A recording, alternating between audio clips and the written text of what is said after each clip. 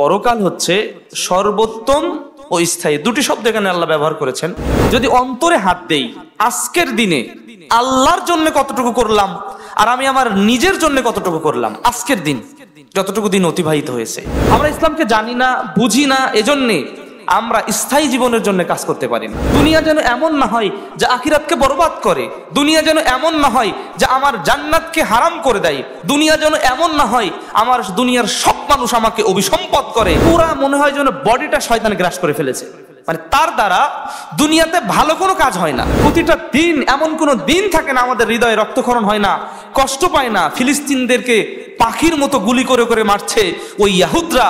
আল্লাহ ওই ইয়াহুদিদেরকে ধ্বংস করুন। কথাগুলো খুবই সহজ, কথাগুলো খুবই সহজ, কিন্তু আমাকে আপনাকে আমলে বাস্তবায়ন করতে হবে। আল্লাহ আমাদের পরকালীন জীবন নিয়ে ছুটে চলার তৌফিক দান করুন। আল্লাহ আমিন। আহলেদিস আন্দোলন বাংলাদেশ। আসুন পবিত্র কুরআন ও সহি হাদিসের আলোকে জীবন গড়ি إن الحمد لله والصلاة والسلام على رسول الله وعلى آله وأصحابه أجمعين ومن تبعهم بإحسان إلى يوم الدين أما بعد أما بعد فإن خير الحديث كتاب الله وخير الهدي هدي محمد صلى الله عليه وسلم. وشر الأمور محدثاتها وكل محدثة بدعة. وكل بدعة ضلالة وكل ضلالة في النار. فأعوذ بالله من الشيطان الرجيم. بسم الله الرحمن الرحيم. يا أيها الناس اتقوا ربكم الذي خلقكم من نفس واحدة وخلق منها زوجها وبث منهما رجالا كثيرا. وبث منهما رجالا كثيرا ونساء. واتقوا الله واتقوا الله الذي تساءلون به والأرحام. إن الله كان عليكم رقيبا. يا أيها الذين آمنوا اتقوا الله حق تقاته ولا تموتن إلا وأنتم مسلمون. يا أيها الذين آمنوا اتقوا الله وقولوا قولا سديدا. يصلح لكم أعمالكم ويغفر لكم ذنوبكم. ومن يطع الله ورسوله فقد فاز فقد فاز فوزا عظيما. فقد قال الله تبارك وتعالى في الكلام المجيد.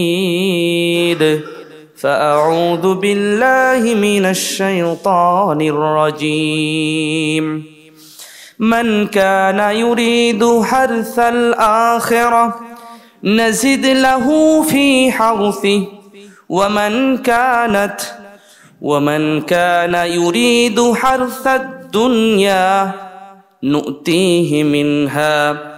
وما له في الآخرة من نصيب سورة الشورى بيالش نمبر سورة বিশ নম্বর আয়াত ওয়ান সাহাল ইবনে সাদ الساعدي رضي الله تعالى عنه قال كنا عند رسول كنا مع رسول الله صلى الله عليه وسلم في الخندق وهم يحفرون التراب وننقلون التراب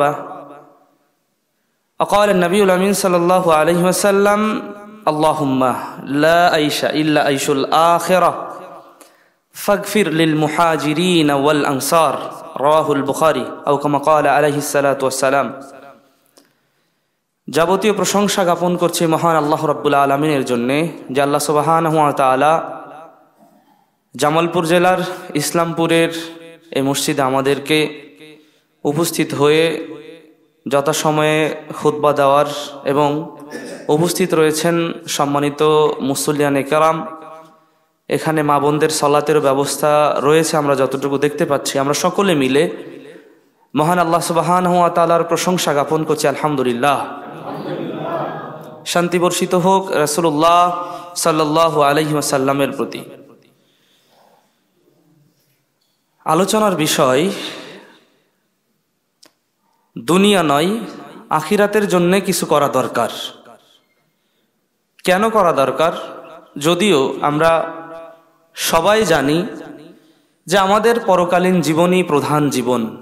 দুনিয়ার জীবন অল্প কিছু দিনের মাত্র। দুনিয়ার জীবন অল্প কিছু দিনের মাত্র। এটা আমরা সবাই বিশ্বাস করি। কিন্তু মানুষ দুনিয়া পূজা হওয়ার কারণে মানুষ নগদকে বিশ্বাস করে নিয়েছে।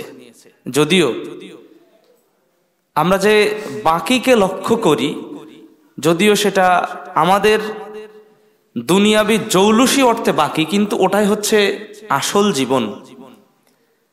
প্রতি জুমায় সম্মানিত খতিব সাহেব যে সোরা আলা থেকে তিলাওয়াত করেন।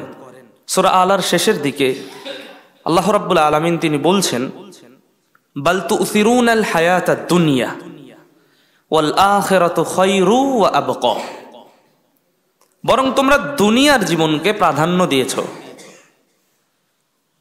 দুনিয়ার জীবনকে তোমরা প্রাধান্য দিয়েছ, ওয়াল আখিরাতু খায়রু ওয়া আবকা। কিন্তু আখেরাত হচ্ছে, পরকাল হচ্ছে সর্বোত্তম এবং স্থায়ী। পরকাল হচ্ছে সর্বোত্তম ও স্থায়ী। দুটি শব্দ এখানে আল্লাহ ব্যবহার করেছেন। ওয়াল হিসাবে এবং আল্লাহ রাব্বুল আলমী নিয়ে এসেছেন। সর্বোত্তম ও আবক এবং এটাই স্থায়ী। তাহলে আল্লাহর ভাষায় দুনিয়া হচ্ছে দুনিয়া হচ্ছে ক্ষণস্থায়ী আর পরকাল হচ্ছে স্থায়ী। দুনিয়া হচ্ছে, এটা লয় আছে, ক্ষয় আছে, কিন্তু পরকাল হচ্ছে সর্বোত্তম এবং স্থায়ী। কার কথা? যিনি কোরআন নাজিল করেছেন, যার বাক্য কোরআনে রয়েছে, যিনি আমাদের সৃষ্টিকর্তা, যিনি আমাদের সবকিছু জানেন, যিনি আমাদের ভালো মন্দ জানেন, সবকিছুর মালিক যিনি, তিনি বলছেন বালতু হায়াত দুনিয়া। বরং তোমরা দুনিয়ার জীবনকে প্রাধান্য দিচ্ছ বান্দারা। ওল আখিরাত খৈরু আবক। কিন্তু আখিরাত হচ্ছে সর্বোত্তম এবং স্থায়ী। আখিরাত সর্বোত্তম এবং স্থায়ী। যদি আখিরাত স্থায়ী হয়, তাহলে স্থায়ী জীবনের জন্য আমাদের কিছু করা দরকার নাকি ক্ষণস্থায়ী জীবনের জন্য করা দরকার? কিন্তু আমরা কিন্তু সবাই ক্ষণস্থায়ী জীবনের প্রতি ঝুঁকে গেছি। ক্ষণস্থায়ী জীবনের প্রতি ঝুঁকে গেছি। আমরা যদি অন্তরে হাত দেই, আজকের দিনে আল্লাহর জন্য কতটুকু করলাম আর আমি আমার নিজের জন্য কতটুকু করলাম, আজকের দিন যতটুকু দিন অতিবাহিত হয়েছে। আমাদের প্রতিদিন এহতেসাব রাখা দরকার, হিসাব করা দরকার। রাতে ঘুমানোর পূর্বে যখন আমি ঘুমাচ্ছি, আল্লাহুম্মা বিস্মিকা আমুত ওয়াহিয়া আমার মুমিনের প্রত্যেকটা ঘুম হচ্ছে প্রত্যেকটা কেয়ামত। তার মানে সে কিন্তু বলছে মুমিন, আল্লাহুম্মা, হে আল্লাহ, বিস্মিকা আমুত, আমি তোমার নামেই মরছি। ও আহি আল্লাহ, তুমি যদি চাও, আমি আবার জীবিত হব। এ দোয়া পড়লে কি লাভ? ব্যক্তি সারা রাত ইবাদতে সওয়াব পেয়ে যাবেন। ওদিকে ব্যক্তি যদি এশার সালাত জামাতের সহিত আদায় করেন, তাহলে ব্যক্তি যেমন সারা রাত বিরাট একটা সওয়াবের অধিকারী হবেন ঘুমানোর কারণেও, ঘুমানোর পরেও। ঠিক অনুরূপভাবে আপনি দোয়া পড়েছেন, আমি দোয়া পড়ছি এবং ডান কাতে শয়ন করার সময় আমি ডান হাতটাকে এই কাঁধের নিচে ভাবে রেখে যখন বলছি আল্লাহ হুম্মা হে আল্লাহ, বিস্মিকা আমু তো আহিয়া আমি আপনার নামেই মরছি আবার, আপনি চাইলে আমি আবার জাগ্রত হব। এটা হচ্ছে মুমিনদের বৈশিষ্ট্য। আর পক্ষান্তরে যারা ইমানকে ধার ধারে না, ইসলামকে ধার ধারে না, তারা ভাববে যে গরু, ছাগল যেভাবে, সেভাবে তো আমরাই। কারণ তাদের বক্তব্য হচ্ছে, আল্লাহ রাব্বুল আলমিন তাদের বক্তব্যকে উপস্থাপন করেছেন কোরআনুল করিমের মধ্যে, যে তারা খায় কামা কুলুন কামা মানে পশু পাখি যেভাবে খায় অর্থাৎ চতুষ্পদ জন্তু যেভাবে খায় বা আরও অন্যান্য ভাবে তারা যে জীবনযাপন করে, দুনিয়ার মানুষ এক শ্রেণির রয়েছে, তারাও ওরকম জীবনযাপন করে। তো আমরা তো এই উদ্দেশ্যে আল্লাহ রাবুল আলমিন আমাদেরকে সৃষ্টি করেননি। আমাদের সৃষ্টির একটা লক্ষ্য আছে। আমরা প্রত্যেকটা জীবনে, আমাদের প্রত্যেকটা ধাপ একটা নির্দিষ্ট লক্ষ্যে করে থাকি। তো আমাদের এ জীবনটা কি লক্ষ্যহীন? আল্লাহ রাব্বুল আলমিন কি আমাদের লক্ষ্যহীনভাবে সৃষ্টি করেছেন? তিনি কি তার একটা উদ্দেশ্য ছিল না? তার একটা কি উদ্দেশ্য নাই? অবশ্যই উদ্দেশ্য আছে। পুরুষ পুরুষের জায়গায় তিনি কাজ করবেন, নারী নারীর জায়গায় কাজ করবেন। একটা ছোট্ট শিশু, সে তার পরিবারে থাকবে, কীভাবে থাকবে? সব রূপরেখা ইসলাম আমাদের মাঝে দিয়েছে। আমরা ইসলামকে জানি না, বুঝি না, এজন্যে আমরা স্থায়ী জীবনের জন্য কাজ করতে পারি না। এজন্যে ইমাম বুখারি রহিমাহুল্লাহ জানাটাকে কত গুরুত্ব দিয়েছেন? আপনি, আমি জানি না এই জন্য মানতে পারি না। জানাটা আগে। এজন্য আপনার, আমার জন্য তৌহিদের জ্ঞান, আল্লাহর জ্ঞান, তৌহিদে রুবুবিয়াতের জ্ঞান রব আল্লাহ রব্বুল আলমিন, তৌহিদে উলুহিয়ার জ্ঞান, সব ইবাদত করব আল্লাহর সন্তুষ্টির জন্য। তৌহিদুল আসমা ও সিফাত রাজ্জাক, তিনি হচ্ছে কাহার, তিনি রহমান, তিনি রহিম তার যেই গুণগুলো, এরকম গুণের সমকক্ষ আর কেউ নেই। এবং তিনি প্রত্যেকটা গুণে গুণান্বিত এবং তিনি প্রত্যেকটা গুণে তিনি একেবারে বাস্তবসম্মত গুণ তিনি রাখেন। এই যে তাওহিদকে স্বীকার করে নেওয়া, এই ধরনের জ্ঞান অর্জন করাটা হচ্ছে আমাদের জীবনে ফরজ। আল্লাহ রসুল সাল্লাহ আলিমসাল্লাম যে কথা বললেন, তলাবুল আলমি ফারিদ আলা কুল্লি মুসলিম। ও ফিরে ওয়াতিন ওখরা মুসলিমা আউকামা কাল আলি যে জ্ঞান অর্জন করা ফরজ। এখন আপনি, আমি বলব যে কোন জ্ঞান অর্জন করা ফরজ? সেটা কি দুনিয়ার জ্ঞান? সেটা কি আখিরাতের জ্ঞান? হ্যাঁ অবশ্যই দুনিয়া প্রয়োজন। তবে দুনিয়া যেন এমন না হয় যা আখিরাতকে কলঙ্কিত করে। দুনিয়া যেন এমন না হয় যা আখিরাতকে বরবাদ করে। দুনিয়া যেন এমন না হয় যা আমার জান্নাতকে হারাম করে দেয়। দুনিয়া যেন এমন না হয় আমার দুনিয়ার সব মানুষ আমাকে অভিসম্পদ করে। ফেরেস তারা আমাদের, আমাকে অভিসম্পদ করে, মানুষেরা বলে বেড়ায় যে ও মরবে কবে? ও মরবে কবে? ওর পতন কবে? এরকম যেন আমার আপনার জীবন না হয়। এ জীবন লয় রয়েছে, এ জীবনের ক্ষয় রয়েছে, কিন্তু পরকালীন জীবনের লয়ও নেই, ক্ষয়ও নেই। সেখানে অনন্তকালের জন্যে আর মানুষ ফিরে আসতে পারবে না, সেখানে থাকতে হবে। এজন্যে দুম্বা বা ভেড়ার আকৃতিতে আল্লাহ রাব্বুল আলমিন জান্নাত এবং জাহান্নামের মাঝখানে মৃত্যুকে নিয়ে আসবেন। ফাতুদবাহ। সেখানে তাকে জবেহ করা হবে এবং জান্নাতীদেরকে জান্নাতীদেরকে আহ্বান করা হবে। ইয়া আহলাল জান্নাহ, লা মাউত ইয়াউম, বাদ আল ইয়াউম, আও কামা ক্বালা আলাইহিস সালাতু ওয়াসসালাম আজকের দিনের পরে আর কোনো মৃত্যু নেই। ফায়াজদাদু ফারহাম বিফারহিম তো এই কথা শুনে জান্নাতীরা খুশিতে বাগবাগ হয়ে যাবে। এই দিনের পরে আর মৃত্যু নেই। তার মানে অনন্তকাল আমরা এখানে থাকব। পক্ষান্তরে যারা জাহান্নামী তাদেরকে আহ্বান করা হবে। শোনো, আজকের দিনের পরে আর তোমাদের কোনো মৃত্যু নেই, মরণ নেই। তোমরা এভাবেই থাকবে, স্থায়ীভাবে তোমাদের আজাব চলতেই থাকবে। আচ্ছা সেই জীবনটা কেমন হতে পারে? তাহলে আমাদের সেই জীবনের জন্য কিছু করা দরকার। সেই জীবনের জন্য কিছু করা দরকার। আল্লাহ রাব্বুল আলমিন সেই কথাই বলছেন যে বালতু ফিরুন হায়াত দুনিয়া বরং তোমরা দুনিয়ার জীবনকে প্রাধান্য দিয়েছ। ওয়াল আখেরাত খৈরু আবকা কিন্তু আখিরাতের জীবন হচ্ছে স্থায়ী এবং সর্বোত্তম। আল্লাহ সর্বোত্তম জীবনের জন্য আমাদের সর্বদা কাজ করার তৌফিক দান করুন। আল্লাহ আমিন। আমি নারী হই, পুরুষ হই, আমি যুবক হই, আমি বৃদ্ধ হই, বৃদ্ধা হই, যে বয়সেরই হই না কেন, আমাকে স্মরণ রাখতে হবে অবশ্যই, আমি যেন স্থায়ী কিছু করতে যাই। সরকার কিছু প্রজেক্ট হাতে নাই, স্থায়ী কর্মসূচি। তারপরে টেকসই উন্নয়ন, এগুলো কি? সরকারও বোঝে মানুষেরা বোঝে যে এই কাজটা করলে আমার স্থায়ী হবে।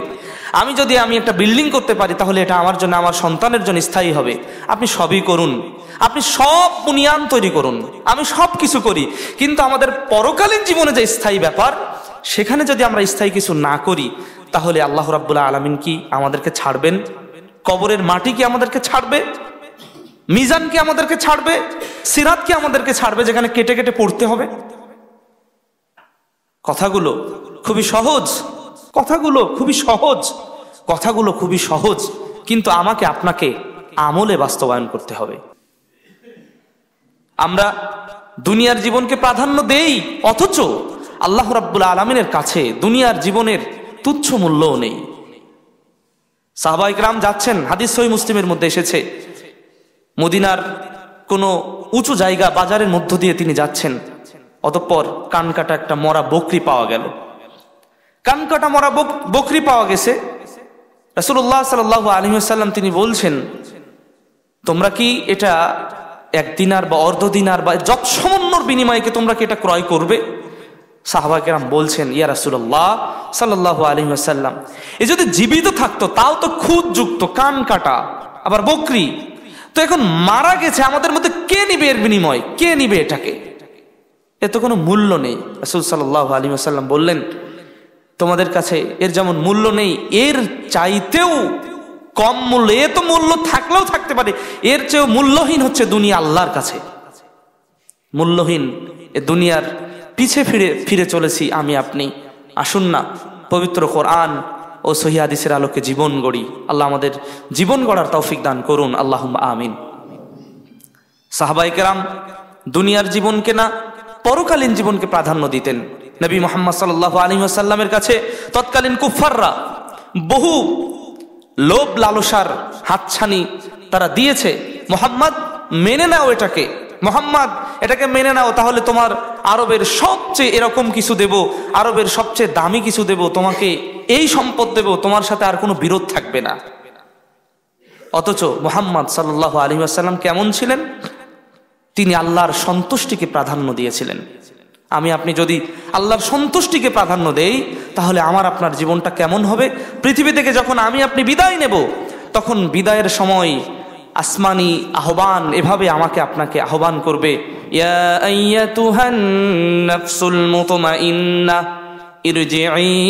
ইলা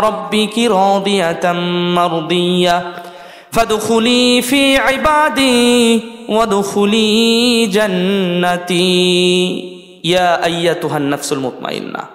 হে প্রশান্ত আত্মা, হে প্রশান্ত আত্মা, আত্মার বিভিন্ন ধরন রয়েছে। তার মধ্যে তিরস্কারকারী আত্মা, ভৎসনাকারী আত্মা, কুমন্ত্রণাদানকারী আত্মা, শুধু দেখবেন কিছু কিছু মানুষের, মানুষ শুধু মানে পুরা মনে হয় যেন বডিটা শয়তান গ্রাস করে ফেলেছে। মানে তার দ্বারা দুনিয়াতে ভালো কোনো কাজ হয় না। দুনিয়াতে তার দ্বারা ভালো কোনো কাজ হয় না। গ্রামের মানুষ ভাবে, বলে, ফুটে বলে না। কারণ তো স্পষ্ট করে বললে আবার বিভিন্নভাবে মামলা, হামলা, ইত্যাদি ইত্যাদি ইত্যাদি আরও কিছু কিছু করতে পারে। তো সবাই ভাবে যে এ কবে মরবে? এর মরণ কবে হবে? কারণ অভিশপ্ত জীবন। কারণ কি? অভিশপ্ত জীবন। জীবনের মধ্যে ইসলামের প্রবেশ ঘটায়নি। জীবনের মধ্যে ইমানের প্রবেশ ঘটায়নি। একজন মুসলিম নাম কাওয়াস্তে মুসলমান। আল্লাহ আমাদেরকে এরকম হওয়া থেকে হেদায়াত দান করুন আল্লাহ আমিন। এজন্যে যখন কোনো বৎকার, অর্থাৎ বে ইমানদার ইমান নেই, এরকম মানুষ পৃথিবী থেকে মারা যায়, সই মুসলিমের হাদিসের মধ্যে আসছে, গাছপালা, প্রাণী, পশু, পঙ্খী, সবাই সবাই সেখানে নিঃশ্বাস ছাড়ে, অর্থাৎ ভালোর দিকে ইঙ্গিত দেয়, যে যে, যাক, আপদ বিদায় হলো। আমার, আপনার মৃত্যুটা যেন এমন না হয়। আমার আপনার বিদায়টা যেন এমন না হয়। বিদায়টা যেমন এমন হয়, যা ফুৎসুরা ফজরের মধ্যে আল্লাহ রাবুল্লাহ আলমিন তিনি বলছেন, ইয়া ইয়া তুহান নফসুল মুতমা ইন্না হে প্রশান্ত আত্মা ইরজি ইলা রব্বিকি রদিয়াতাম মারদিয়া।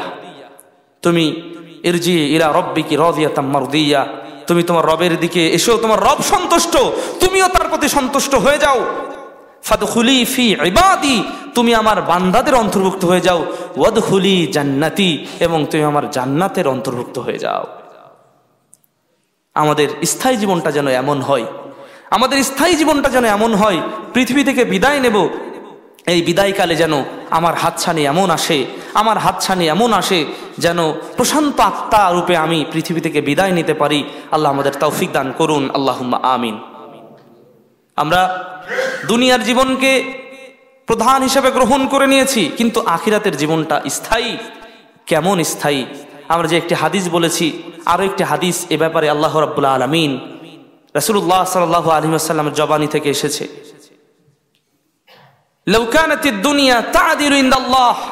যদি দুনিয়াটা আল্লাহ রাব্বুল আলমিনের কাছে আদাল হতো, অর্থাৎ সমপরিমাণ হতো, জানাহা বা অর্থাৎ মাসির ডানা সমতুল্য। মাসি। মাসি আবার মাসির ডানা। মাসির ডানা কি বাজারে বিক্রি হয়? মাসির ডানা কি কোনো কাজে লাগে? মাসির ডানা তো কোন কাজে লাগে? মাসির মাসির নিজের কাজেই লাগে। আল্লাহ রসুল সাল্লাহ আলী আসাল্লাম বলছেন লৌকানাতি দুনিয়া তা তাদিলু ইন্দাল্লাহ জানাহা বাউদা। যদি দুনিয়ার মূল্য মূল্যায়ন আল্লাহর কাছে মাসির ডানা পরিমাণও মূল্য হতো আল্লাহর কাছে দুনিয়া দুনিয়ার মূল্য আল্লাহর কাছে? মাসির ডানা পরিমাণ। তাহলে তিনি কোনো কাফেরকে সুরবাতা মা, তিনি এক চুমুকও পানি পান করতে তিনি দিতেন না। তো তাই কি হয়? আল্লাহর অক্সিজেন কাফেরও পাই মুসলিমও পাই মুমিনও পাই, মুমিনাও পাই, কাফেরও পাই বেইমানও পাই, সবাই পাই। এটা আল্লাহর আদল, ইনসাফ। কিন্তু আমি আপনি আদলের ক্ষেত্রে, ইনসাফের ক্ষেত্রে কি করি? আল্লাহ রব্বুল আলমিন রব হিসাবে তিনি যতটুকু দেওয়ার, যা কিছু দেওয়ার আমার জীবনে সব দিয়েছেন। আপনি বলতে পারবেন না, আমার জীবনে এটা দেননি। হ্যাঁ তবে আমার, আপনার জীবন তো পরীক্ষারও হতে পারে। আমার, আপনার জীবন পরীক্ষারও হতে পারে। আপনার ইমান যত বড়, আপনার পরীক্ষা হবে তত বড়। আপনি, আমি যদি ভেবে বসি, আমি পাঁচ পাঁচক্ত সলাত আদায় করি, আমার স্ত্রীকে পর্দা করানোর ব্যবস্থা করি, আমার সন্তানকে ইসলামী শিক্ষা শিক্ষিত করি, আমার পরিবারকে ভালোভাবে চালানোর চেষ্টা করি, আমার স্ত্রী পর্দা করে, আমি ভালোভাবে চলার চেষ্টা করি, আমি হারামকে বর্জন করে, হালাল গ্রহণ করি আরও এত কিছু করার পরে এত কেন বিপদ আমার উপরে আসে আল্লাহ। অনেক মানুষ না বুঝে আমরা এরকম করে থাকি। না বুঝে এরকম করে থাকি যে সব বিপদ মনে হয় এরকম। আবার কেউ কেউ বোকা মানুষ সলাত আদায় করছিল। হয়তো বা বিপদে পড়েছে, সলাতই আদায় করব না। সলাত আদায় করে কি লাভ? এত সলাত আদায় করি তারপরে বিপদ আপদ সব আমার উপরে আসে। নওজুবিল্লাহ আলী আপনার, আমার আল্লাহ রাবুল্লা আলমিন কল্যাণ চেয়েছেন, তাই তিনি কল্যাণের পরীক্ষা নিচ্ছেন। ولنبلونكم بشيء من الخوف والجوع ونقص من الأموال والأنفس والثمرات وبشر الصابرين আল্লাহ রাব্বুল আলামিন বলছেন ওয়ালানাবলুওয়ান্নাকুম বিশাইইম মিনাল খাউফি ওয়াল জু ওয়া নাকসিম মিনাল আমওয়াল ওয়াল আনফুসি ওয়াথ থামারাত ওয়া বাশশিরিস সাবিরিন সুসংবাদ তাদের জন্য এতগুলো করার পরেও এতগুলো আসার পরেও যারা ধৈর্য ধারণ করবে তাদের জন্য সুসংবাদ। ওলানাবুলুয়ান্নাকুম বিশাইইম মিনাল খৌফ। তোমাদেরকে অবশ্যই আমি আল্লাহ রাবুল আলমিন পরীক্ষা করব খৌফ দ্বারা, ভয় ভীতির দ্বারা। ক্ষুধার দ্বারা। ওনাকসিম মিনাল আমওয়াল, সম্পদের কমতি দ্বারা। ধান পেকেছে, হঠাৎ করে এমন বৃষ্টি দিলাম। তোমার মনটা খুবই খারাপ। বান্দা, যে আল্লাহ পাকা ধান দিল, আবার পাকা ধান আল্লাহ নিয়ে নিল, এটা কেমন হলো? আমার সন্তানের রিজিক নিয়ে নিল, ওর মধ্যে কল্যাণ রয়েছে। আমি আপনি কল্যাণ বুঝি না। আল্লাহ রাবুল্লাহ আলমিন সোরা বাকারার মধ্যে কথা বলছেন যে, তোমরা একটা জিনিসকে মধ্যে কল্যাণ মনে করেছ, অথচ তার মধ্যে কল্যাণ নেই। আবার তোমরা মনে করছ এর মধ্যে অকল্যাণ রয়েছে, কিন্তু তার মধ্যেই মূলত কল্যাণ রয়েছে। এজন্য সর্ব অবস্থায় আল্লাহ রব রব্বুল্লাহ আলমিনের উপরে ভরসা করে পরকালের উদ্দেশ্যে কাজ করতে হবে। আল্লাহ রব্বুল্লাহ আলমিন এমনিতেই দুনিয়া দিয়ে দিয়ে দিবেন। মুমিনদের অবস্থা হচ্ছে, ইয়াকুলুন, রব্বানা আতিনা ফিদ দুনিয়া হাসানা অফিল আখেরাতে হাসানা ওকিনা আদাবান নার। মুমিনরা বলে, রব্বানা আতিনা ফিদ দুনিয়া হাসানা অফিল আখেরাতে হাসানা ওকিনা আদাবান নার। মুমিন যারা হবে, তাদের কথা হচ্ছে, হে আল্লাহ আতিনা ফিদ দুনিয়া হাসানা। দুনিয়াতে আমাদের কল্যাণ দান করুন। অফিল আখেরাতে হাসানা এবং আখিরাতে তথা পরকালীন জীবনে কল্যাণ দান করুন। ওকিনা আজাব নার এবং জাহান্নামের আজাব থেকে আমাদেরকে হেফাজত করুন, রক্ষা করুন। এটা মুমিনদের কথা। পক্ষান্তরে কাফেরদের কথা কি? কাফেরদের কথা হচ্ছে, তারা চায় শুধুমাত্র দুনিয়া। আল্লাহ রাব্বুল আলমিন সেই কথা বলছেন। সৌরা সুয়ারা বিয়াল্লিশ নম্বর সুরার বিশ নম্বর আয়াত, মান কানা ইউরিদু হারসাদ দুনিয়া, হারসাল আখেরা। যারা আখিরাতের হার্স তথা ফসল চাই নাজিদ লাহু ফি হারসি। আমরা তার এই ফসলে, তার এই চাষাবাদে, তার এই আবাদে পরকালীন উদ্দেশ্যে সে কাজ করছে, আমরা তাকে, তাতে বৃদ্ধি করে দেই। মান কানা ইউরিদু হারসাল আখেরা, যারা পরকালীন জীবনে ফসল চায়, পরকালীন জীবনে শান্তি চায়, পরকালীন জীবনে মুক্তি চায়, পরকালীন জীবনে কিছু করতে চায়, নতি নাজিদ লাহুফি হারথি আমরা তাতে তাদের শস্য, তাদের এই ফসল, তাদের এই উদ্দেশ্যকে আমরা আরও বরকত দিয়ে দেই, আমরা বৃদ্ধি করি। ওয়ামান কানা ইউরিদু হারসাদ দুনিয়া যারা দুনিয়ার ফসল চায়, দুনিয়া চায়, যাদের উদ্দেশ্য হচ্ছে দুনিয়া ইনকাম করা। দেখেন না, বর্তমান সময়ে যদিও প্রেক্ষাপটটা ভিন্ন, আজকে বর্তমান বিশ্ব যদি আমরা লক্ষ্য করি আচ্ছা বিশ্বে মারামারি হচ্ছে কি নিয়ে? সব দুনিয়া নিয়েই কিন্তু, সব দুনিয়া নিয়েই। কে কাকে মেরে, কে কাকে সাইজ করে, কে কীভাবে ক্ষমতা দখল করবে? এ প্রসঙ্গে কথা বলতে আমাদের দ্বিধা নেই, কারণ আমরা আল্লাহ রাব্বুল আলমিন আমাদেরকে মারামারি করার জন্য সৃষ্টি করেননি। দুই দলে, তিন দলে বিভক্ত হয়ে এক ভাই আর এক ভাইকে মারবে। আপনি কি বলতে পারবেন? আপনি যদি মুসলমান হন, এক ভাই মরবে আর আপনি হাসবেন, এটা অসম্ভব। আপনার ইমান, আমার ইমান পরিপূর্ণ নেই। আল মুমিনু কাজাসাদিন ওয়াহিদ। মুমিন হচ্ছে একটা দেহের নেই দেহের কোনো অঙ্গে যখন কাটা ফোটে, সমস্ত শরীর ব্রেন সিগন্যাল দেয় ওখান থেকে যে পায়ে কাটা বিঁধেছে, কাটা ফুটেছে, হাতে কাটা ফুটেছে, হাত পুড়ে গেছে। ঠিক অনুরূপভাবে মুমিনরা যেখানেই থাকুক না কেন, যখন কেউ আঘাত পাবে, তখন আরেকজন মুমিন কষ্ট পাবে। দেখেন না, আমরা যারা পেপার পত্রিকা পড়ি, প্রতিটা দিন এমন কোনো দিন থাকে না, আমাদের হৃদয়ে রক্তক্ষরণ হয় না, কষ্ট পায় না, ফিলিস্তিনদেরকে পাখির মতো গুলি করে করে মারছে। ওই ইয়াহুদরা, আল্লাহ ওই ইয়াহুদিদেরকে ধ্বংস করুন, আল্লাহ ওই ইহুদিদেরকে ধ্বংস করুন, আল্লাহ ওই ইহুদিদেরকে ধ্বংস করুন আল্লাহ আমিন।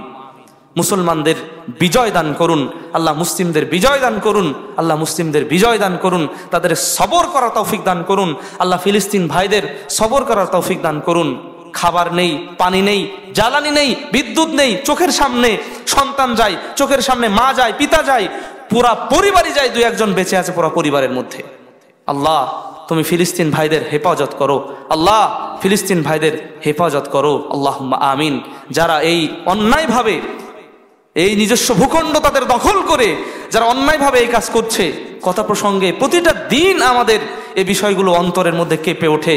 আজকে তাদের কীভাবে তাদেরকে মানে পৃথিবী থেকে বিদায় করে দিচ্ছে আল্লাহ? তাদের এই বিদায় যেন শহীদি বিদায় হয়, তাদের যেন সবরে জামিল যেন তারা ইখতিয়ার করতে পারে আল্লাহ। আল্লাহ আমিন। সম্মানিত উপস্থিতি, আমরা বলছিলাম, মুমিনরা থাকবে একে অন্যের ভাই, তাহলে আমার দেশে কেন দুই পার্টি, তিন পার্টি, চার পার্টিতে মারামারি হবে? আমরা কিসের পেছনে ছুটছি? আপনি বলুন তো অন্তরে হাত দিয়ে আমরা কিসের পেছনে ছুটছি? নিঃসন্দেহে গদি দখল করার জন্যে?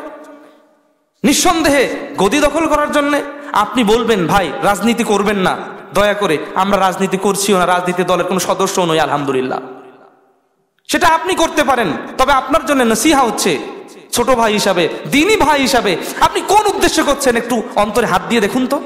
আপনি কি ইহকালের জন্য করছেন না পরকালের জন্য করছেন? আপনাকে কি আল্লাহ রাব্বুল আলমিন কবরে কি প্রশ্ন করবেন? মান রব্বুক অমা দিনুক অমা হাজার রজুল ওইভাবে এগুলো প্রশ্ন করবেন না। আপনি যেগুলো নিয়ে মারামারি কাটাকাটি করছেন, আমার আরেক ভাই যেগুলো নিয়ে মারামারি কাটাকাটি করছে, ওইগুলো নিয়ে প্রশ্ন করা হবে। নিঃসন্দেহে প্রশ্ন করা হবে ওইটা কিন্তু আমি আপনি ভেবে নিয়েছি, দুনিয়ার জীবন এটাই মেন জীবন, পরকালে যা হয় হবে, আল্লাহ তো একদিন জান্নাতে দিবে। আপনি জান্নাত কি এত সহজ মনে করেন? আলু পটল? যে আপনি রোপণ করে রাখবেন, কিছুদিন পরে সেটা ঝরতে শুরু করবে, আপনি বাজারে বিক্রি করবেন, সংসার চালাবেন নাউদুবিল্লাহ মিন দারিক আস্তাক ফিরুল্লাহ ইয়াদুবিল্লাহ, আল্লাহ মুসলিম জাতিকে হেফাজত করুন, আল্লাহ আমাদেরকে হেফাজত করুন আল্লাহ আমিন। সম্মানিত উপস্থিতি, আল্লাহ রাব্বুল্লাহ আলমিন, তিনি বলছেন, যারা এরকম ইহকালকে কামনা করে এহকালের ফসল কামনা করে, নুতি নুতি মিনহা, আমরা সেখান থেকে অল্প কিছু দেই। ওমা আখিরাতি মিন নাসিব, আরে তাদের পরকালীন জীবনে কোনো অংশই তাদের বাকি থাকে না, কোনো নাসিব, কোনো অংশই তাদের থাকে না। আপনি, আমি কি দুনিয়া চাচ্ছি না আখেরাত চাচ্ছি? আজকে যারা এখানে আমরা উপস্থিত হয়েছি বা আমরা যারা এই খুদ্া আমরা শুনব, আমরা একবার অন্তরে হাত দিয়ে দেখেছি, আমরা কি কল্পনা করেছি যে আমাদের পরকালীন জীবনের শস্যই, পরকালীন জীবনটাই হচ্ছে প্রধান? আমাদের ওই পরকাল নিয়ে কাজ করা দরকার। একজন ব্যক্তি যখন পরকাল নিয়ে কাজ করবেন, ওই ব্যক্তি অটোমেটিক্যালি এমনি ভালো হয়ে যাবে ইনশাআল্লাহ। গ্রামের মধ্যে দেখবেন যে মানুষটা সবচেয়ে ভালো, সে পরকাল নিয়ে ভাবে। দেখবেন যে মানুষটার মধ্যে মানে পরকালীন সাপ রয়েছে, তার চেহারা সুরত দেখলে বোঝা যায়। তাই বলে, বড় জুব্বা হলে যে বড় আল্লাহ বিষয়টা এমন নয়। বড় টুপি হলে যে বড় আল্লাহওয়ালা এটা নয়। গ্রামের ওই কৃষক মানুষ, সে আল্লাহওয়ালা হতে পারে। এজন্যে ধনীদের বহু পূর্বে গরিবরা জান্নাতে প্রবেশ করবেন। এটা রাসুল্লাহ সাল্লাহ আলী আসাল্লাম তাদের মর্যাদা বর্ণনা করেছেন। আপনি গ্রামে বসবাস করে, আমি গ্রামে বসবাস করে, আমি পৃথিবীর যেখানে বসবাস করি না কেন, আমি আল্লাহর বান্দা, আল্লাহর ওখানে থেকেই আমি আমার আল্লাহকে সন্তুষ্ট করতে পারি। আমি একজন বাড়ির গৃহিণী, আমি আমার স্বামীর হক আদায় করব, সন্তানের হক আদায় করব, শ্বশুর শাশুড়ির হক আদায় করব, যার হক, যাকে যতটুকু সমর্থ রয়েছে আমি সমর্থ অনুযায়ী তাকে প্রদান করব। আমি ওখান থেকে আল্লাহর আবেদা হয়ে যাব, আমি ওখান থেকে আল্লাহর সালেহা হয়ে যাব, আমি ওখান থেকে আল্লাহর বান্দা আবদুল্লাহ আব্দুর রহমান হব এবং পরকালীন জীবন আমার সুন্দর হবে, ইনশাআল্লাহ। এই পরকালীন জীবনের লক্ষ্যে কাজ করেছেন নবী সাল্লাহ আলী আসাল্লাম এবং তার সাহাবাই কারাম। নবী সাল্লাহ আলী আসাল্লাম তার সাহাবাই কেরাম পরকালীন লক্ষ্যে কাজ করেছেন। কেমন? যদি উদাহরণ দেই সৈয়ুল বুখারি, দ্বিতীয় খণ্ড কিতাব মানে কিতাব মানে কিতাবুল মাগাজি, অর্থাৎ যুদ্ধ পর্বের যে একটা অধ্যায় রয়েছে, সেখানে বাবু গজওয়াতে খন্দক, এখানে আল্লাহ নবী সাল্লাহ আলী আসাল্লাম যে হাদিসটি আমরা শুরুতেই বলেছি সাহালিবনে সাদ সাঈদি রদি আল্লাহ আন থেকে বর্ণিত হাদিস, যা সহি সহিল বুখারিতে হাদিসটি এসেছে। সাহাবি বলছেন কুন্নামা রসুলিল্লাহ সাল্লাহ আলী আসাল্লামা ফিল খন্দাকি, খন্দকের যুদ্ধের দিন আমরা আল্লাহ নবী সাল্লাহ আলী আসাল্লামের সাথেই ছিলাম। আর আমরা কেউ কেউ আমাদের মধ্যে গর্ত খনন করছিল, আবার কেউ কেউ আমরা নাহমিলুন তোরাব, আমরা কেউ কেউ আবার মাটি কাঁধে বহন করছিলাম। খন্দকের যুদ্ধের দিন মুসলমানদের যে সমস্ত যুদ্ধ হয়েছে, খন্দক যুদ্ধটা অন্যরকম একটা যুদ্ধ ছিল।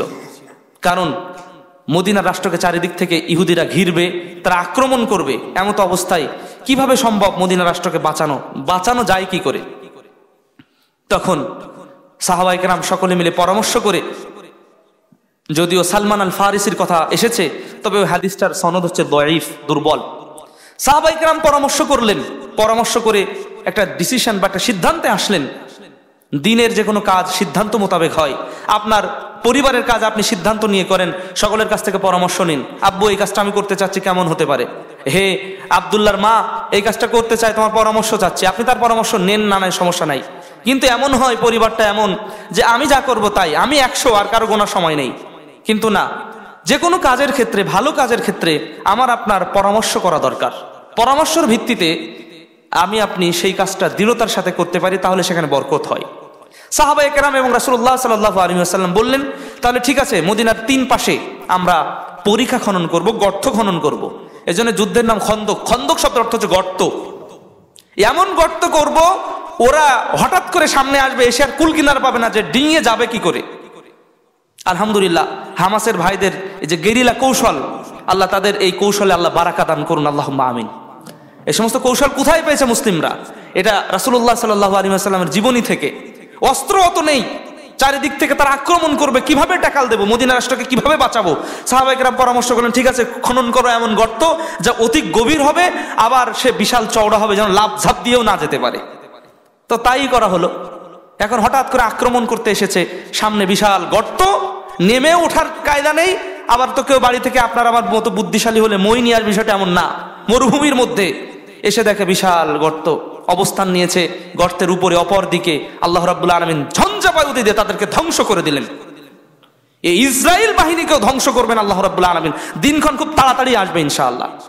আল্লাহ রব্বুল্লাহ আলমিনের বাণী হচ্ছে ওলা তাহিনু ওলা তাহজানু আনতুমুল্লাহ আলাউন ইন কুনতুম মুমিনিন। হে আমার বান্দারা, তোমরা হীনবল হও না, তোমরা দুশ্চিন্তাগ্রস্ত হও না, তোমরাই বিজয়ী যদি তোমরা ইমানদার হও।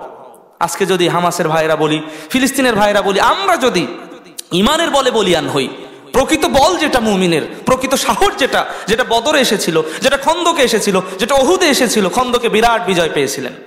তো এই বিজয়, এই বলে বলিয়ান যদি আমরা হই, আল্লাহ রাব্বুল আলমিন আমাদের বিজয় দান করবেন, সেটা ইহকালেও দান করবেন, পরকালীন মূল লক্ষ্যে আমরা যেটা কাজ করছি সেখানে আল্লাহ রাব্বুল আলমিন আমাদেরকে রক্ষা রেহাই দিবেন, আল্লাহ আমাদের সেটাই দান করুন আল্লাহ আমিন। সম্মানিত উপস্থিতি, সাহাবি বলছেন, আমরা এমতো অবস্থায় আমরা মাটি খনন কেউ কেউ করছি, আবার কেউ কেউ কাঁধে করে আমরা মাটি বহন করে নিয়ে ফেলছি। তো এমন যখন অবস্থা হয়েছে, তখন আল্লাহ নবী সাল্লাহ আলহিহাসাল্লাম সবাই ক্ষুধার্ত, তিনিও ক্ষুধার্ত রাসুল্লাহ সাল্লাহ আলহিহাসাল্লাম পেটে পাথর বেঁধেছেন। সাহাবাইকেরাম পেটে পাথর বেঁধেছেন। সৈয়দ বুখারিতে পেটে পাথর বাঁধা, এটা চারটেখানি ব্যাপার। যখন এই হাদিসগুলো আমরা পড়েছি এর আগে, তখন ভেবে নিতাম মনে হয়, আসলে পাথর বাঁধা অর্থটা রূপক অর্থ। না অরিজিনালি হাদিসের মধ্যে রসুল্লাহ সাল্লাহ আলী আসসালাম যে পেটে পাথর বেঁধেছেন, সে সহিল বুখারির এই কিতাবু মানে খন্দকের যুদ্ধের যে অধ্যায় রয়েছে, পরিচ্ছেদ রয়েছে, সেখানে তার স্পষ্ট প্রমাণ। পাথর বেঁধেছেন ক্ষুধার জন্য। আমার আপনার কি এরকম ক্ষুধা দুনিয়াতে লেগেছে কারোর?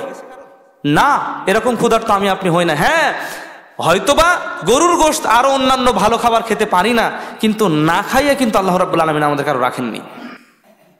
আমরা কিন্তু খাচ্ছি, অল্প হলেও খাচ্ছি, আলহামদুলিল্লাহ। বর্তমান পৃথিবীতে মানে আমরা গ্রামের দিকে লক্ষ্য করি, শহরে লক্ষ্য করি, যাই লক্ষ্য করি না কেন, আমরা সকলেই কিন্তু আমরা খেয়েই বেঁচে আছি। আল্লাহ রব্বুল আলমিন আমাদেরকে খাওয়াচ্ছেন, কিন্তু এই খাওয়ার বিপরীতে আমরা তার সুক্রিয়া কতটুকু আদায় করছি? আমরা তার সুক্রিয়া কতটুকু আদায় করছি? আল্লাহ আমাদের হেফাজত করুন আল্লাহ আমিন। তো তখন এমন ক্ষুধার্থ তো রসুল্লাহ সাল্লাহ আলী আসাল্লাম তিনি বলছেন আল্লাহ হে আল্লাহ আল্লাহ মগফির লিল মুহাজিরিন। ও এর আগে তিনি বলছেন আল্লাহ হে আল্লাহ, লা আইসা ইল্লা আইসুল আখেরা। লা আইসা ইল্লা আইসুল আখেরা। আল্লাহ, আমি, আমরা দুনিয়ার কোনো জীবন চাই না, আখিরাতের জীবনটাই আমরা চাই। দুনিয়ার জীবন জীবন নয় আল্লাহুম্মা লা আইসা কোনো জীবন যাপন নয়, ইল্লা আইসুল আখেরা, আখিরাতের জীবন ছাড়া। অর্থাৎ আখিরাতের জীবনটাই প্রধান। ফাগফিরিলিল ফাগফিরলিল মুহাজিরিন। আল্লাহ আজকের এই পরীক্ষা খননে যারা অংশগ্রহণ করেছে, মুহাজিরদের মধ্যে, যারা মক্কা থেকে মদিনায় এসেছে, এসে আমার এই বিরাট কষ্টে মদিনা রাষ্ট্রকে রক্ষা করার জন্য, ইসলামকে রক্ষার জন্য, আমাকে সহযোগিতার জন্য, আল্লাহর এই দিনকে সহযোগিতা করার জন্য যারা কাজ করে যাচ্ছে, আল্লাহ, আল্লাহুম মগফির লিল মুহাজিরিন, এই সমস্ত মুহাজিরদেরকে আপনি ক্ষমা করে দিন। ওয়াল আনসার, এবং যারা ওই মুহাজিরদেরকে সহযোগিতা করছে, তাদেরকে আপনি ক্ষমা করে দিন। এটা রাসুল্লাহ সাল্লাহ আলী আসাল্লাম বললেন। এ হাদিস আমাদের বলার উদ্দেশ্য হচ্ছে, তিনি এই ক্ষুধার্ত অবস্থায় থেকেও, এই কষ্ট করেও তিনি বলছেন আল্লাহ লা আইসা ইল্লা আইসুল আখেরা। আল্লাহ, দুনিয়ায় ক্ষুধার্ত কোনো সমস্যা না। পরকালীন জীবনটাই হচ্ছে আসল জীবন। আমার আপনার পরকালীন জীবন নিয়ে ছুটে চলা উচিত। আমার আপনার পরকালীন জীবন নিয়ে ছুটে চলা উচিত। আল্লাহ আমাদের পরকালীন জীবন নিয়ে ছুটে চলার তৌফিক দান করুন। আল্লাহ আমিন। সম্মানিত উপস্থিতি, আল্লাহ রাব্বুল আলমিন আমাকে আপনাকে কেন কি জন্য সৃষ্টি করেছেন সেটা নিঃসন্দেহে আমরা জানি, আমরা অবগত। সেটা নিঃসন্দেহে আমরা জানি বা অবগত। অবগত হওয়ার পরেও যদি আমরা এমন হই যে আমরা শুধু শুনছি, আমরা শুধু শুনছি, আমরা শুনছি কিন্তু আমল করার ক্ষেত্রে আমরা কেউ নেই, তাহলে অবশ্যই আমাদের জন্য সেটা লাঞ্ছনাদায়ক, সেটা কষ্টদায়ক, সেটা বড় অপমানজনক হবে যা পরকালীন জীবনে মানুষ ভোগ করবে। সেই লাঞ্ছনা, গঞ্জনা, সেই ভোগ থেকে আল্লাহ আমাদের হেফাজত করুন। আল্লাহ আমিন। অথচ আমাকে আপনাকে পরকালীন স্বার্থে যদি আমি আপনি কাজ করতে চাই, আমার আপনার পরিবারকে ইসলামী পরিবার হিসেবে গড়ে তুলতে হবে। আমাকে আপনাকে মুসলিম হিসাবে গড়ে গড়ে উঠতে হবে। আমাকে আপনাকে প্রকৃত মুসলিম হিসাবে, প্রকৃত আহলে হাদিস হিসাবে আমাকে আপনাকে জীবনটা পরিচালনা করতে হবে, সাথে সাথে আমাকে আপনাকে সেইভাবে গড়ে উঠতে হবে। আমি, আপনি কি চারিদিকে ঘুরে বেড়াবো? শুধুমাত্র আমার ক্ষেতের ফসল ধান পাকলো কিনা? ওদিকে পুকুরে পানি আসে কিনা? আমার সন্তানের কি হলো? আমার এদিকে কি হলো? আমার ওদিকে কি হলো? আমি, আপনি শুধু এই তালগুলো নিয়ে, এই তালেই ব্যস্ত। কিন্তু হঠাৎ করে যখন মালাকুল মৌত হাজির, একটু সময় দাও, একটু সময়, কিন্তু সেখানে আর একটা সময়ও, অল্প সময়, এক সেকেন্ডও লেট করা হবে না, আবার দেরিও করা হবে না, আগেও হবে না, যখনই সময় আসবে তখনই শেষ হয়ে যাবে। অথচ এটা ছিল মানুষের চাওয়া পাওয়া, কিন্তু চাওয়া পাওয়ায় সেখানে মালাকুল মৌত আপনাকে আমাকে সময় দিবে না। অতএব আমাকে আপনাকে ভাবা উচিত। আমি প্রতিদিন কতটুকু আল্লাহর জন্য কাজ করছি? আমার কাজ আমার দুনিয়ার জন্য, সংসারের জন্য কতটুকু হচ্ছে এবং আল্লাহর জন্য কতটুকু করছি? আল্লাহকে শুধু শুধুমাত্র পাঁচ অক্ত সলাত আদায় করার জন্য আমাকে প্রেরণ করেছেন? অনেকে সলাত আদায় করেন, মাঝে মধ্যে করেন, মাঝে মধ্যে করেন না। এটা একটা বিষয়। আবার কেউ সলাত আদায় করেন কিন্তু মানুষকে দেখানোর জন্য করেন। আবার কেউ সলাত আদায় করেন কিন্তু সলাতে কি বলেন কিছুই বোঝেন না, বোঝার চেষ্টাও করেন না। সলাত আদায় করতে হয়, তাই করেন। তাহলে সলাৎ আদায় শুধু যদি সলাতের কথা বলি, তাহলে সেখানেও কিন্তু অনেক তারতম্য রয়েছে। আমাকে আপনাকে সলাৎ আদায় এমনভাবে করতে হবে, যেভাবে রাসুল্লাহ সাল্লাহ আলী আসাল্লাম করেছেন। এই বাংলাদেশের প্রেক্ষাপটে বিভিন্ন ধরনের প্রচলিত সলাৎ রয়েছে। কিন্তু সলাতের কথা কেন বলছি? কারণ সলাৎ হচ্ছে আপনার আখিরাতে মুক্তি দিতে পারে। কারণ কিয়ামা, আস-সালা, সলাতের হিসাবটা, দুই দিকের হিসাব। একটা হচ্ছে যদি বান্দার সাথে বান্দার হক সংশ্লিষ্ট, আপনি আমাকে মেরেছেন, আমি আপনাকে মেরেছি, এরকম যদি রক্তপাত হয়, তাহলে এই রক্তপাতের হিসাব আল্লাহ রব্বুল আলমিন আগে নিবেন। তারপরে আপনার সাথে আর আল্লাহর সাথে, আমার সাথে আর আল্লাহর সাথে যে হিসাব, সেই আমলের হিসাব সর্বপ্রথম যেটা নিবেন সেটা হচ্ছে সলাতের হিসাব। আল্লাহর সাথে আমার। আমার হক, আল্লাহর হক। এই দুই বান্দা এবং আল্লাহর হকের মধ্যে সর্বপ্রথম আল্লাহ রাব্বুল আলমিন যেটা নিবেন সেটা হলো সলাতের হিসাব নিবেন। বান্দার সাথে বান্দার সম্পর্কের যে হিসাব, আপনার আমার সাথে লেনদেন, মারামারি, কাটাকাটি বহু কিছু হয়, এর মধ্যে সর্বপ্রথম যে হিসাবটা আল্লাহ রাব্বুল আলমিন নিবেন সেটা হচ্ছে দিমা তথা রক্তপাতের হিসাব। সুতরাং আমি আপনি যদি সলাদটা ঠিক করতে পারি, তাহলে হয়তোবা আল্লাহ রাব্বুল আলমিন সলাতের মাধ্যমে আমার আপনার বহু কিছু ক্ষমা করে দিতে পারেন। এজন্যই ইন্না সলাতা তানহা আনিল ফাহশাই ওয়াল মুনকার ওয়ালা যিকরুল্লাহি আকবার। নিশ্চয় সলাত হচ্ছে তানহা আনিল ফাহশাই ওয়াল মুনকার। নিষেধ করে বাধা দেয় আনিল ফাহশা অশ্লীল কাজ ওয়াল মুনকার। গহির্ত কাজ, খারাপ কাজ, মন্দ কাজ, এগুলো থেকে আমাকে আপনাকে বাধা দেয়। ওলা দিকরুল্লাহি আকবার। এবং এটা হচ্ছে আল্লাহর সবচেয়ে বড় জিকির। সবচেয়ে বড় জিকির, সবচেয়ে বড় জিকির, বড় মাধ্যম যা বান্দার যদি সঠিক হয়, তাহলে বান্দার সব আমল সঠিক হবে। যদি সলাদ বেঠিক হয়, তাহলে বান্দার সব কিছু বরবাদ হবে। এজন্যই আমরা বলব, আমরা আলোচনা করছিলাম, আমরা দুনিয়া নয়, স্থায়ী জীবনের জন্য কিছু করি, পরকালের জন্য কিছু করা আমাদের দরকার। কেন দরকার? বাল তো সিরুনাল হায়াত দুনিয়া ওয়াল আখেরাত খয়রু আবক। আল্লাহ রাব্বুল আলামিন এজন্য মুমিনদের চাওয়া হবে, রব্বানা আতিনা ফিদ দুনিয়া হাসানা অফিল আখেরাতে হাসানা অকিনা আদাবান্নার কেন এটা চাওয়া হবে? কারণ যে ব্যক্তি আখেরাতের উদ্দেশ্যে কাজ করে, আল্লাহ রাব্বুল আলমিন দুনিয়া এমনিতেই তাদেরকে দিবেন। কেন? আজকে যারা আল্লাহর ইবাদত করে, যদি কাফের পানি পাই যদি কাফের খাদ্য পাই মুমিনও খাদ্য পাবে। আল্লাহ রাব্বুল আলমিনের অল্প খাদ্য মুমিনের জন্য বারাকা হয়ে যাবে। কারণ মুমিন যখন খাবার খায়, প্লেট থেকে পড়ে যায় আবার অনেক কিছু সাধু বাবা আছে, বিশেষ করে ভদ্র বাবাজি আছে, যে প্লেট থেকে পড়ে গেলে খাওয়ারই খোঁজ নেই। কারণ খাবে কি করে? রসুল্লাহ সাল আলী আসসালাম তিনি বলছেন যে কেউ জানে না, ফি আইয়ে তো আমিম বারাকা, কোন খাবারে বরকত রয়েছে কেউ তো জানে না। স্বাভাবিক যে ভাতটা পড়ে গেছে, সমস্ত প্লেটের ভাতের মধ্যে, ওই ভাতের মধ্যে হয়তো বা আপনার জন্য, আমার জন্য বরকত রয়েছে। আপনি যখন হেমা ওবন আপনি যখন ভাত বাড়ছেন, ভাত পড়ে গেছে, তাহলে ভাত পড়ার আগে আপনি এমন জায়গায় ভাত বাড়েন যেন পড়ে গেলে সেটা তুলে নেওয়া যায়। আপনি আমি এমন ভাবে ভাত খাই যেন সেখান থেকে পড়ে গেলে সেটা তুলে নেওয়া যায়। কারণ মুমিনের প্রত্যেকটা অল্প জিনিসে বেশি বরকত। আর কাফের এই জন্য রসুল সাল্লাহ আলী আসাল্লাম বলছেন আল মুমিনু ইয়াকুলু বে মাইন ওয়াহিদ আউকাম আলী সাল্লাতাম মুমিন খায় এক পেটে ওয়াল কাফির ইয়াকুলু সাবাত ইয়াকুলু সাবাত আমা অর্থাৎ সে খায় সাত পেটে। মানে সাত পেটে খেলেও কামাকাল কাল সালাম, সাত পেটে খেলেও কাফের কিন্তু বরকত হবে না। হবে কি করে? সে বরকত যে বোঝে না, বরকত কি করে নিতে হয়? এজন্য আমি আপনি যদি পরকালীন লক্ষ্যে কাজ করি ইনশাল্লাহ আল্লাহ রব্বুল্লা আলমিন ইহুকাল আমাকে আপনাকে দিবেন। এহকাল আমার আপনার জন্য সুন্দর করে দিবেন। এহকালে আমি আপনি সুন্দর জীবন যাপন করতে পারব। আল্লাহ রাবুল্লাহ আলমিন এহকালীন জীবন সুন্দর করে পরকালীন জীবনটা আমাদের নিশ্চিত করার তৌফিক দান করুন। আল্লাহ আমিন। সম্মানিত উপস্থিতি, আমরা বলছিলাম, আল্লাহ নবী সাল্লাহ আলহিহাসাল্লাম অনেক সাহাবি যখন তার কাছে বিভিন্নভাবে এসেছেন, আমি আপনি দুনিয়ার জীবন নিয়ে মত্ত, আমি আপনি পরকালকে ভুলে গেছি, কিন্তু ভোলাটা তো ঠিক নয়। অথচ রসুল্লাহ সাল আলী আসাল্লাম একটি ঘটনা আমরা বললাম খন্দকের যুদ্ধে। তিনি বললেন, আমার এই এহকালীন জীবনের সুখ, স্বাচ্ছন্দ্য, এই সৌভা মানে ভোগ্য বস্তু আমার, উপভোগ্য, আমার এগুলো আমার দরকার না। আমাদের প্রয়োজন হচ্ছে পরকালীন জীবনের আয়েস পরকালীন জীবনের আরাম। এই আইস আরাম পরকালীন জীবনে আমাদের লক্ষ্য যেন হয়, আমরা যেন কখনো এখান থেকে বিচ্যুত না হই। আল্লাহ আমাদের তৌফিক দান করুন আল্লাহ আমিন। আমি কার পেছনে ছুটছি? আমি কোন দিকে চলছি? রাতের আধারে কাকে কি ক্ষতি করছি? আমি সেটা কার জন্য করছি? নিজের স্বার্থের জন্য? অন্যের কোনো আদেশে? নাকি আমি কোন উদ্দেশ্যে করছি? সব কিছু আল্লাহ রাবুল্লা আলমিন দেখছেন। সুতরাং আমি কি বড় চালাক? আমি আপনি মনে করি মনে হয় খুব চালাক আমি আপনি। অথচ আমি আপনি চালাক না। রসুল্লাহ সাল্লাহ আলী আসাল্লাম চালাকের কিছু মানদণ্ড বলেছেন।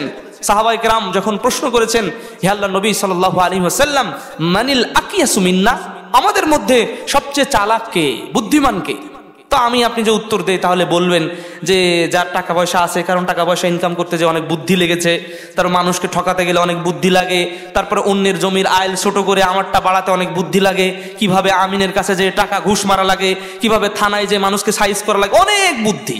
এই বুদ্ধিগুলো শুধু দুনিয়ার জীবন, অথচ রাসুল্লাহ সাল্লাহ আলী আসাল্লাম বললেন যে সবচেয়ে বুদ্ধিমান ওই ব্যক্তি, বুদ্ধিমান ওই ব্যক্তি যে মৃত্যুকে স্মরণ করে।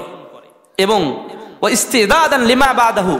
মাউত, অর্থাৎ তার মরণের জন্য পরকালীন জীবনে সে সঞ্চয় করে, এ হচ্ছে সবচেয়ে বড় চালাক, বুদ্ধিমান। তাহলে মরণকে স্মরণ করা, মৃত্যুকে স্মরণ করা, এবং পরকালীন জীবনকে ঠিক করা, পরকালীন জীবনের প্রস্তুতি গ্রহণ করা, এ হচ্ছে রাসুলের ভাষায় চালাক। আর আমাদের ভাষায় চালাক বিভিন্ন ধরনের হতে পারে। আমাদের ভাষায় ব্যক্তি চালাক বিভিন্নভাবে হতে পারে। সুতরাং হে মুসলিম ভাই ও বোন আপনার আমার কাছে, আমি আমার নিজেকেও আগে নসিহা করছি, আপনাদেরকেও নসিহা করছি, যা পবিত্র কোরআন এবং হাদিসের মধ্যে যে নসিহাগুলো এসেছে, আমরা যেন আমাদের পরকালীন জীবনে কিছু করি, স্থায়ী কিছু করি, স্থায়ী বলতে আমাদের পরকাল, স্থায়ী বলতে আমাদের জান্নাতি জীবন, স্থায়ী বলতে আমাদের কবরের জীবন, স্থায়ী বলতে আমাদের হাসরের জীবন, স্থায়ী বলতে আমাদের সিরাতের জীবন, স্থায়ী বলতে যে জীবন আমাদের জন্য আল্লাহ রাবুল আলমিন রেখেছেন এবং তিনি সুসংবাদ প্রদান করেছেন। তোমরা ফাদখুলি ফি এবাদি হে আমার বান্দারা, তোমরা আমার ইবাদি অর্থাৎ আমার বান্দা হয়ে যাও, ওয়াদখুলি জান্নাতি, এবং তোমরা আমার জান্নাতে প্রবেশ করো। প্রিয় ভাইরা আমরা আল্লাহ রব্বুল্লা আলমিনের কাছে দোয়া করি, আমি আপনি জান্নাতের দিকে ছুটে চলার তৌফিক আল্লাহ আমা, আমাকে আপনাকে দান করুন আল্লাহ আমিন। এজন্যেই আমরা বলব আমরা সেই প্রত্যন্ত এলাকা থেকে এসেছি।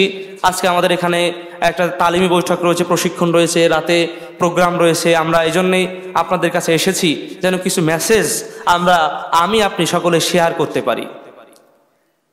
আমরা, আপনারা অনেকে হয়তো বা চিনবেন বা জানবেন, আমরা আমাদের সেই আপনাদের প্রাণপ্রিয় প্রতিষ্ঠান আল মার্কাজুল ইসলামিয়া সালাফি নওদাপাড়া রাজশাহীর আমরা ছোটোখাটো একজন খাদেম বা শিক্ষক হিসাবে সেখানে কর্মরত রয়েছি। সেখান, সেটার জন্য আপনারা দোয়া করবেন। হয়তোবা আবারও প্রোগ্রামে আপনাদের সাথে দেখা হবে। আমরা দোয়া করি আল্লাহ রাবুল্লা আলমিন, আল মার্কাজুল ইসলামিয়া সালাফি নওদাপাড়া রাজশাহীকে আল্লাহ কবুল করুন আল্লাহ আমিন। সেখানে আপনাদের এলাকার ছাত্র ছাত্রীও কিছু আছে, আমরা জানি। আমাদের পুরুষ এবং মহিলা শাখায় আলহামদুলিল্লাহ আড়াই হাজার ছাত্রছাত্রী একটু কম বেশ হবে, সেখানে কিন্তু পড়াশোনা করছে। আপনাদের সহযোগিতা, আপনাদের দোয়া, দূর থেকে আপনারা দোয়া করবেন। যিনি এটা করেছেন, যিনি এই শিক্ষা কে প্রচলিত শিক্ষা ব্যবস্থায় কি আছে? হাট্টিমা টিম টিম ঘোড়ার ডিম, মানুষ, বানর থেকে মানে তৈরি এই ইত্যাদি ইত্যাদি, বিগ ব্যাং থিওরি, সব মিথ্যা। এগুলো সব প্রচলিত। এগুলো মানুষের মস্তিষ্ক প্রসূত মানুষের কল্পনা দিয়ে, এগুলোর কোনো অস্তিত্বই নেই। আপনি কি বলবেন? আমি বানর থেকে হয়েছি, আপনি বানর থেকে হয়েছেন। পাগলের প্রলাপ। কোনো পাগলও পৃথিবীতে বিশ্বাস করবে না যে আমি বানর থেকে এসেছি। না উদুবিল্লাহমিন্দা আলী এই সমস্ত প্রচলিত ধারাকে বাদ দেওয়ার জন্যে মোহতারাম আমিরে জামাত, তিনি যেটা গঠন করেছেন সেটা হচ্ছে হাদিস ফাউন্ডেশন শিক্ষা বোর্ড, হাদিস ফাউন্ডেশন প্রেস আরও যাই বলি না কেন, আহলে হাদিস আন্দোলন বাংলাদেশ বাংলাদেশ আহলে হাদিস যুব সংঘ, যদিও এই কথাগুলো বললে অনেকের হয়তো খারাপ লাগতে পারে। মূলত কিন্তু আমাদেরকে এই যে সাক্ষাৎটা হলো, এই সংগঠনের বরকতেই। আজকে যতটুকু কথা আমরা বলতে পারলাম, এটা সংগঠনের বরকত। আপনাদের এলাকায় আপনাদের সম্মানিত সভাপতি মাসুদুর রহমান সাহেব আছেন। উনি আহলেদিস আন্দোলন বাংলাদেশ, জামালপুর, উত্তর জেলার সম্মানিত সভাপতি। তার ডাকে আমরা এসেছি। উনি যদি না থাকতেন, আমাদের এভাবে পরিবেশে আসা হতো না। এজন্য আপনাদের কাছে অনুরোধ করব সঙ্গবদ্ধ জীবনযাপন করি। অনেকের মধ্যে অনেক সমস্যা থাকবে ভাই, কিন্তু সঙ্গবদ্ধতার জীবন হচ্ছে রহমতের জীবন। রসুল্লাহ সাল্লাহ আলী আসাল্লাম বলছেন আল জামাআত রহমা। সঙ্গবদ্ধ জীবন হচ্ছে রহমতের জীবন, ওয়াল আজাব এবং বিচ্ছিন্নতার জীবন হচ্ছে আজাবি জীবন। আপনি বলবেন, কোন সংগঠনে আমি সঙ্গবদ্ধ হব? প্রশ্ন। উত্তর হচ্ছে এই, যা পবিত্র কোরআন এবং সই হাদিসের আলোকে গঠিত যে সংগঠন, সেই সংগঠনে আপনি থাকেন। তার মধ্যে কিছু ভুল ত্রুটি আপনার চোখে থাকতে পারে, তাদেরকে আপনি প্রশ্ন করুন। যারা পবিত্র কোরআন এবং সই হাদিসের সবচেয়ে নিকটে আপনি তাদের সাথে সঙ্গবদ্ধ হন। একজন মুসলিম হিসাবে একেবারে বিচ্ছিন্নভাবে থাকার কোনো সুযোগ নেই। রাসুল্লাহ সাল্লাহ আলী আসসালামের জীবনের দিকে লক্ষ্য করুন সাহাবাই কিরামের জীবনের দিকে লক্ষ্য করুন, তারা কেউ খলিফা হয়েছেন অথবা আমির হয়েছেন অথবা মামুর হয়েছেন। সুতরাং যারা পবিত্র কোরআন এবং সৈয়াদিসের সবচেয়ে কাছে, নিকটে, আমরা বলছি না আপনি আহলেদিস আন্দোলন বাংলাদেশের সহযোগী হন, তারপরে যুব সংঘের সদস্য হন, আমরা যদিও যুব সংঘের দায়িত্বশীল, আমরা বলব, হে যুবক ভাই, আপনি যুব সংঘের পতাকা তলে আসলে ইনশাআল্লাহ আপনার চরিত্র সুন্দর থাকবে। আমরা যেটা চেষ্টা করে যাচ্ছি, আমরা যেটা চেষ্টা অব্যাহত রেখেছি, আসুন না, পবিত্র কোরআন ও সহি হাদিসের আলোকে জীবন গড়ি। আসুন, পবিত্র কোরআন ও সহি হাদিসের আলোকে জীবন গড়ি, যেটা রাসুল্লাহ সাল্লাহ আলী আসাল্লাম বিদায় হজ্জার ভাষণে তিনি বললেন যে তারাক তুফিকুম আমরাইন, তোমাদের জন্য রেখে যাচ্ছে দুটি জিনিস, লান্তাদিল্লু, তোমরা কখনোই পথভ্রষ্ট হবে না, মা তামাসাক্তুম বিহিমা কিতাব আল্লাহ ওসুন্নতা রসুলি আউকামা কাল আলহি সাল্লাম রেখে যাচ্ছে দুটি জিনিস, একটা হচ্ছে আল্লাহর কিতাব তথা কোরআনুল করিম এবং নবী মোহাম্মদ সাল্লাহ আলী আসাল্লামের সহি সুন্না আল্লাহ আমাদের এই দুটিকে আঁকড়ে ধরে জামাতবদ্ধ জীবনযাপন করার তৌফিক আল্লাহ দান করুন। আল্লাহ আমিন। মোহতারাম আমিনের জামাতের জন্য আপনাদের কাছে দোয়া করছি। যারা বাংলাদেশ সহ বিশ্বের বিভিন্ন জায়গায় সালাফি আলে মাহালিয়াদিস আলেম ওলামারা কাজ করে যাচ্ছে, দিনের জন্য কাজ করে যাচ্ছে, আল্লাহ তাদের উপর রহম করুন। আল্লাহ আমিন। মোহতারাম আমিরের জামাত তুলনামূলকভাবে অসুস্থ আছেন প্রফেসর ডক্টর মোহাম্মদ আসাদুল্লাহ আল গালিব তার জন্য দোয়া করবেন, আপনাদের জন্য দোয়া করি, আল্লাহ আপনাদেরকে কবুল করুন, আল্লাহ আমাদেরকে কবুল করুন, আমাদের পরিবারকে কবুল করুন, আল্লাহ আমাদের দেশের অশান্তি দূর করে শান্তির রাস কায়েম করুন। যে মারামারি, কাটাকাটি, হানাহানি, এটা কেন করছি, কোন উদ্দেশ্যে করছি সঠিক বুঝ আমাদের দান করুন। আল্লাহ আমিন। আল্লাহ আমাদের সার্বিকভাবে হেদায়তের উপর থেকে আমরা যেন পৃথিবীর শেষ নিঃশ্বাস ত্যাগ করতে পারি, আল্লাহ আমাদের তৌফিক দান করুন। আল্লাহ আমিন। মোহতারাম আমিরে জামাতের জন্য বিশেষভাবে দোয়া করছি। আপনারা দোয়া করবেন, আপনাদের কাছে দোয়া প্রার্থী, আমাদের মার্কাজের জন্য আপনারা দোয়া করবেন।